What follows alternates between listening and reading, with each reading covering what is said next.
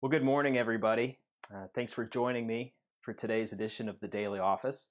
In case we don't know each other, my name is Kenny, and I am a pastor at the Village Church of Lincolnshire in Lake Forest, Illinois. Now, today I want to talk to you about God's grace and the sufficiency of God's grace. You know, I've been thinking that lately, uh, God is so good to answer our prayers, and He hears all our prayers. But at the same time, there are prayers that we are praying that seem as though they have gone unanswered, or at least they haven't been answered in the way that we would like them to. So today I just want to briefly read from 2 Corinthians 12, verses 1 through 10, to talk about a prayer that Paul had that went unanswered and what that meant. So this again is 2 Corinthians 12, 1 through 10. I'll be reading from the English Standard Version. I must go on boasting. Though there is nothing to be gained by it, I will go on to visions and revelations of the Lord. I know a man in Christ who 14 years ago was caught up into the third heaven. Whether in the body or out of the body, I don't know. God knows. And I know that this man was caught up into paradise. Whether in the body or out of the body, I don't know. God knows. And he heard things that cannot be told, which man may not utter. On behalf of this man I will boast, but on my own behalf I will not boast, except of my weakness. Though if I should wish to boast, I would not be a fool, for I would be speaking the truth. But I refrain from it, so that no one may think more of me than he sees in me or hears from me. So, to keep me from becoming conceited because of the surpassing greatness of the revelations, a thorn was given me in the flesh, a messenger of Satan to harass me, to keep me from becoming conceited. Three times I pleaded with the Lord about this, that it should leave me. But he said to me, My grace is sufficient for you, for my power is made perfect in weakness. Therefore, I will boast all the more gladly of my weaknesses, so that the power of Christ may rest upon me. For the sake of Christ, then, I am content with weaknesses, insults, hardships, persecutions, and calamities. For when I am weak, then I am strong. So, what Paul is saying here is that he's been the beneficiary of God's revealing grace. That God has shown him things that that eye has not seen nor heart has imagined. That God has opened up the window into heaven and allowed Paul to peek inside. But there's a danger in that because Paul could very easily get conceited. He could say, I'm the one. I'm the one who's seen these wonderful things from God. Everyone look at me and how special I am. So, what happened? Paul says he received a thorn in the flesh, a, a, trial, a physical trial to humble him so that he wouldn't think more of himself than he truly is. And what does God say in the midst of that? He says that he has given this trial basically as a gift because God's grace will be sufficient in that gift and his power will be made manifest in Paul's weakness a lot of us are struggling with unanswered prayers. Maybe it's the healing of someone you love. Maybe it's your own healing. Maybe it's a job situation that's gone sideways. Maybe it's broken relationships. Maybe it's a home dynamic that is just terrible and you're basically stuck in it right now. I talked to someone last night who is struggling mightily right now through an ugly family situation and sometimes there, in those situations, we've been praying and praying and praying and praying, and God hasn't shown up, at least not in the way we would want Him to. It seems He hasn't answered our prayers. But I just want to encourage us today from the Bible, from Paul's experience, that God's apparent silence is not His absence. He has not left you, He has not forsaken you. And even this, even this trial, even this thorn in your flesh, he means for your good. Think about what Paul said. He did it to keep me from com- becoming conceited. It's as if Paul says, Imagine who I would have been otherwise. Imagine if I didn't have this thing in my life, this thing that requires me to reach out to God and to fall on my knees and ask for His grace. Imagine who I would be selfish, conceited, proud, boastful in the wrong things.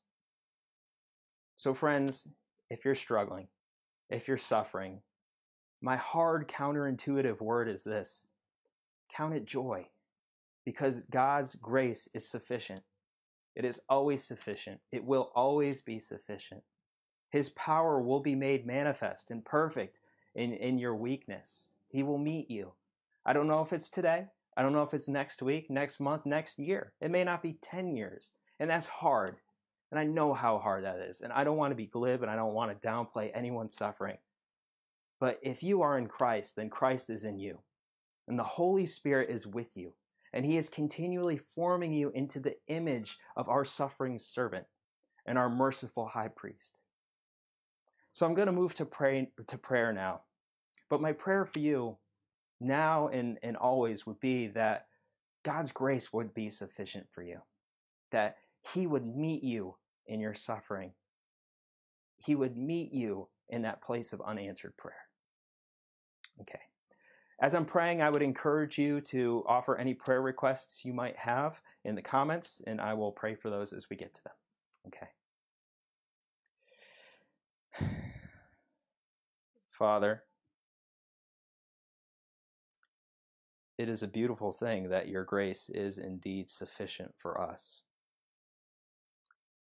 Lord, in Christ we have seen your grace on display, your goodness, your truth, your mercy.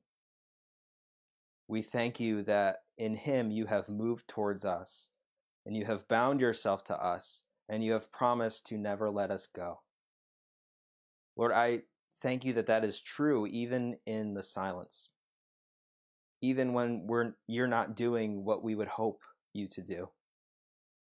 So I pray for all my friends today who may be struggling with unanswered prayer, who may be waiting for you to show up.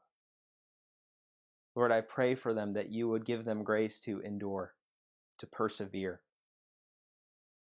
I pray that someday they would be able to look back at this moment and they would very clearly be able to recount your goodness to them.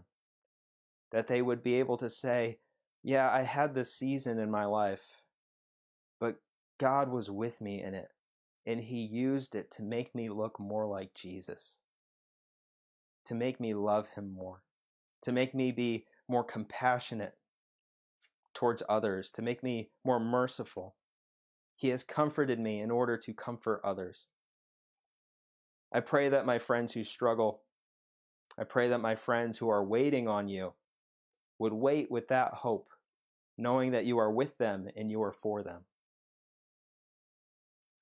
Lord, as we consider the, the issues of today, there is so much we could be praying for right now. We scarcely know where to begin.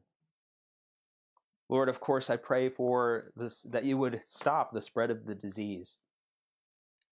We have all made great sacrifices, and they have taken a heavy toll on us as individuals, as families, as churches and communities, and, and society as a whole.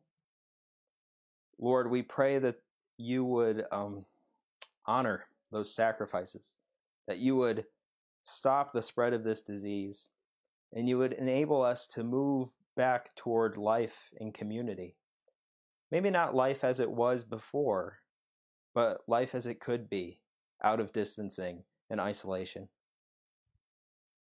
Father, for the leaders in our country at every level who are weighing the um, all the the the advantages and disadvantages of continued isolation versus selective and careful reopening. Lord, give them great wisdom. Give us patience, give us grace. Help us to trust that we don't know all. And I pray that those people would listen not to the angry voices of their constituents, but they would listen to the experts and that they would follow wisdom, that they would follow research, and Lord, they would make the best decisions they possibly can, empowered by your grace. Lord, I pray for the people who aren't so convinced that this danger is indeed a danger. Lord, we've seen people gathering, we've seen people defying the, the social distancing guidelines, we've seen people protesting in mass, people who perhaps think this is a hoax, or people who aren't, you know, who just, for whatever reason, they aren't convinced. I pray for them, Lord. For the ones who are suffering, I pray for them. Pray that you would provide.